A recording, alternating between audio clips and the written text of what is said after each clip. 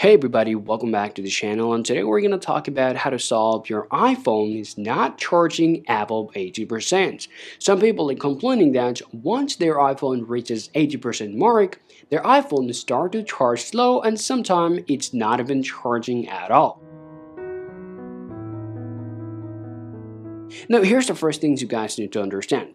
First, while you are charging your iPhone's battery, if your iPhone is getting hot, then your iPhone software will stop your iPhone to charge fast. To solve the problem, the first thing that you guys can do, you can literally turn on the flight mode from here, wait around 5 to 10 minutes, and see whether your iPhone start charging fast or not.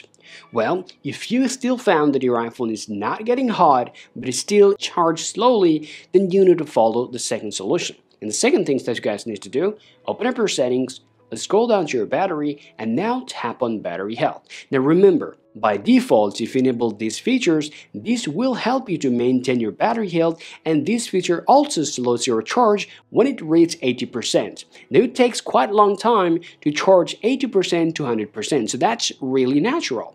Now if you really want your iPhone to charge fast at the 100% mark, you can turn off this feature, but still, this is not recommendable because turning off this feature can have direct impact over your battery health.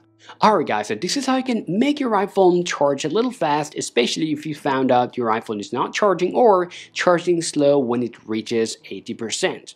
Hope you find this video useful. If you think so, go ahead and drop a like and subscribe to the channel. Thank you for watching, and I'll talk to you later.